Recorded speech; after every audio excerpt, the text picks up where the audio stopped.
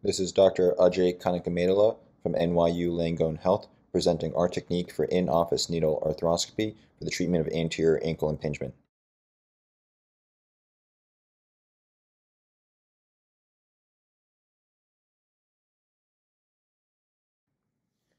Anterior ankle impingement is a common cause of anterior ankle pain and restricted ankle dorsiflexion.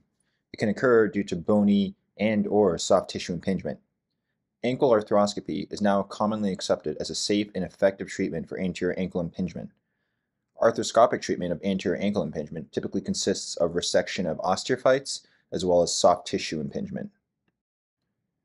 The introduction of new needle arthroscopy systems with improved resolution and arthroscopic tools has made performing complete arthroscopic procedures feasible in the office setting in-office needle arthroscopy offers a number of advantages over traditional ankle arthroscopy in the operating room for anterior ankle impingement, including faster recovery and reduced costs.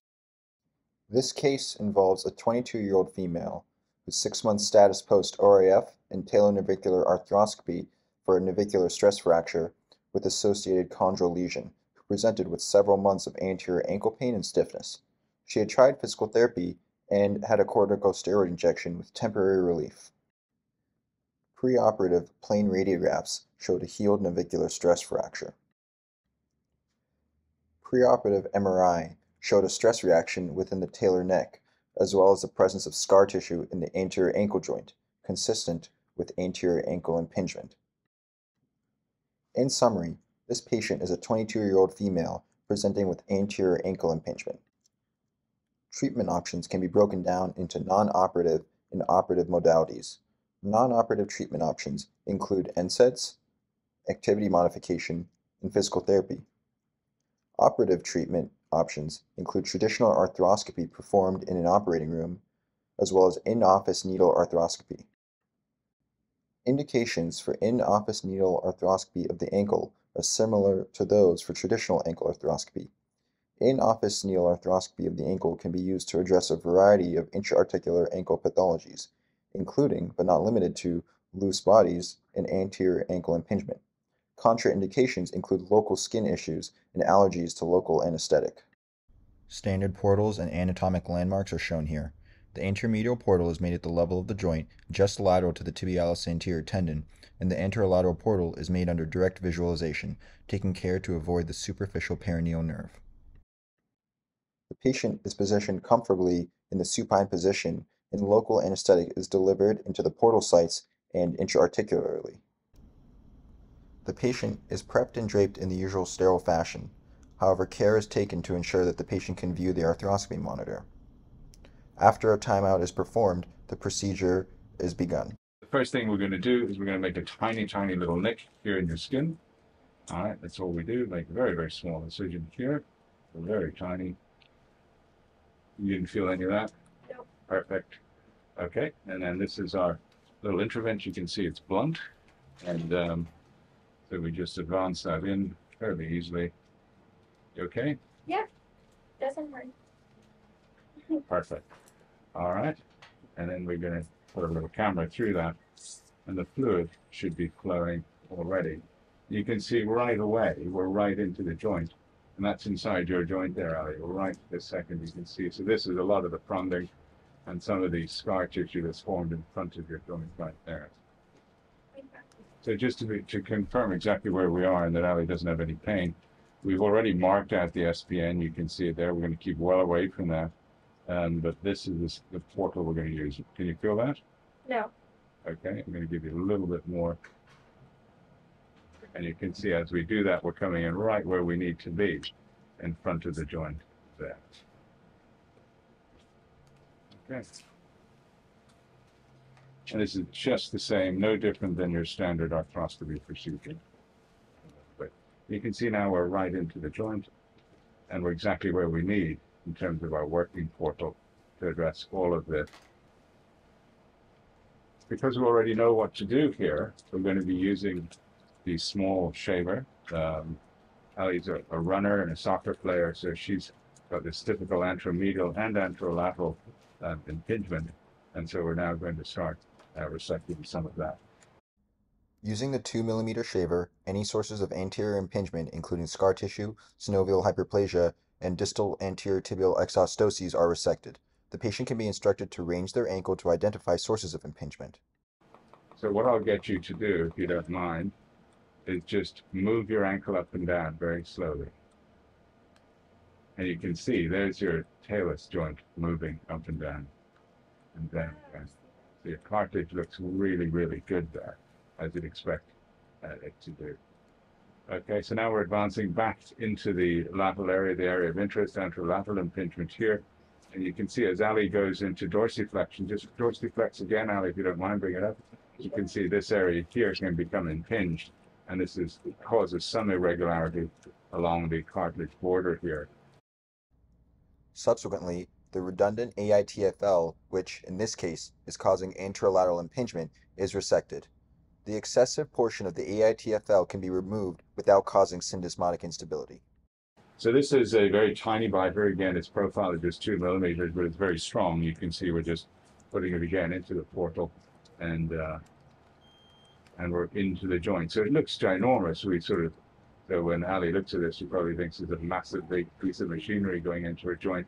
But in fact, this is really, really tiny. And what we're going to do is take away a little bit of that part of the ligament, just the very, very first, the anterior few millimeters of that ligament, because that is an area that is uh, subject to hypertrophy and to impingement. So we take that away without affecting uh, the stability of the syndesmosis at all.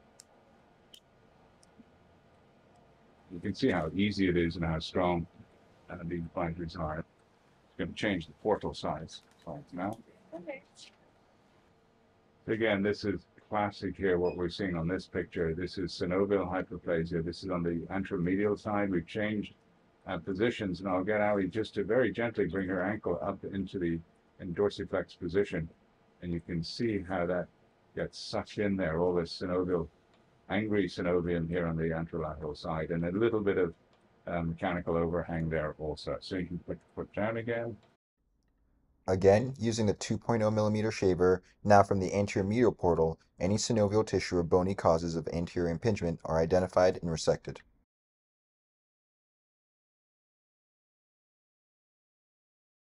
dorsiflex your foot as much as you can there, Ali. And you can see how all of that tissue gets sucked into the joint and pinches. And it's that anterior impingement um, which causes the pain, particularly on maximal dorsiflexion. So that's what our job is to get rid of all of that and to prevent it recurring. So just go down again, please. Perfect, thanks. And that's again an advantage of the, needle arthroscopy is that you can really, the patient is actively involved. They see the pathology um, and they're actively involved in addressing it. It is important to follow the talar neck down anteriorly, as can be seen here, to evaluate for any other sources of impingement. Further debridement is performed of any excess capsular tissue impinging on the neck of the talus. So now you can see the front of the joint is certainly a lot clearer now. Um, and at this point, what we'll do is we'll start taking away some of that, uh, some of that anteromedial impingement, that bony exostosis right there. We'll take that away in a moment. The shaver is then exchanged for a 3 mm burr, which is used to complete the resection of the distal anterior tibial exostoses. So we're going to have a really good look at the bone before we do anything. Um, and there it is. And so we're going to start shaving that away. So if there's any pain at all, you're going to let me know. Okay, I will. So it'll feel a little bit of a vibratory sense as we do this, um, but there should be no more than Adequacy of the debridement can be confirmed by noting that the tibial surface has been resected back to the anterior border of the medial malleolus. The bony debridement can lead to postoperative hemarthrosis, and so we believe it is important to initiate early mobilization and range of motion beginning on the day of the procedure to avoid postoperative arthrofibrosis. When Ali now moves, um, moves her ankle, just bring that up a little bit, Ali. You can see there that there's no impingement there now at all. That looks absolutely, really quite clear. Um, some a little bit of inflamed tissue over here, which we'll take away. But by and large, when we look at the entire ankle right across the front now, and it's very different than it was 10 minutes ago. So again, we're looking at the front of the joint. You can see that anteromedial resection is incompleted. We brought the anterior aspect of the um, tibia right back to the level of the medial mal, which is right here. All that synovial hyperplasia and scar tissue, which was present here before, has gone. And you can see right at the front of the joint is really quite clear now. We're going to change portals uh, one more time just to confirm that the lateral side is completely free. So what I'll get you to do, if you don't mind, is again just um, dorsiflex and plantarflex. So bring it up as much as possible. And so when Ali brings it up as much as she can, again, you can see that little divot there. That's not from the scope. That's from the original um, hypertrophic AITFL, and that's very common in athletes to see that, particularly if there's any, any instability. That's not a full chondral loss. We won't need to do anything about that, um, but we will take a picture of that. If you could take a picture of that, Nick. Okay, so that's all she wrote. Well done. Thank you so much. Going to get rid of some of that fluid in there right as there. But because these um, portals are so tiny, you don't need the suture. If you don't need sutures or anything else.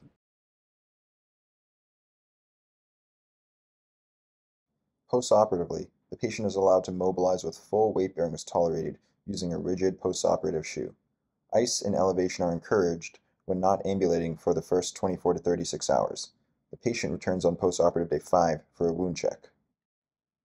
The patient is encouraged to perform ankle pumps and circumduction exercises every hour for 5 minutes for the first 24 hours. Full weight bearing and range of motion are allowed immediately. Formal physical therapy is started on day 5 postoperatively. The lead author, Dr. John Kennedy, performed a study on his series of 31 patients, which is currently in press. He found largely favorable outcomes with in-office needle arthroscopy for anterior ankle impingement. In his series of 31 patients with mean follow-up of 12 months, patients reported an overall positive experience with mean rating of 9.7 out of 10. Patients reported significant improvement in their PROMIS, pain interference, and intensity scores, and 94% of patients expressed willingness to undergo the same procedure again. Multiple other studies have also reported successful outcomes after arthroscopic treatment of anterior ankle impingement. In 2014, Walsh et al. reported on a prospective series of 46 patients who underwent ankle arthroscopy and debridement for anterior ankle impingement with a minimum of five year follow up. They found significant improvements in foot functional index scores as well as ankle dorsiflexion. In 2015, Zwiers et al. published a systematic review of arthroscopic treatment of anterior ankle impingement. They included 19 articles in 905 patients with a mean follow-up of 35 months, and they found that ankle arthroscopy and debridement appeared to improve patient-reported outcomes as measured by the AOFAS. They also noted high satisfaction rates of 74 to 100%. They found a pooled complication rate of 5.1%, the most common of which was mild nerve symptoms, likely due to portal placement. We will now review pearls and pitfalls for this procedure. Patient selection is critical, as some patients may not be able to tolerate in-office needle arthroscopy. It is important to have a careful preoperative discussion with patients regarding expectations for a wide awake procedure. For patients who might require a bony resection, it is important to provide adequate periosteal local anesthetic injection. Lastly, it is important to engage the patient during the procedure. This can be achieved with conversation as well as eliciting active range of motion to identify any sources of ankle impingement. Common pitfalls include not injecting enough pre-procedural local anesthetic or not providing enough time for the anesthetic to take effect. Other pitfalls include iatrogenic nerve injury due to portal placement or inadequate resection due to failure to identify all sources of ankle impingement. Our references are shown here. Thank you.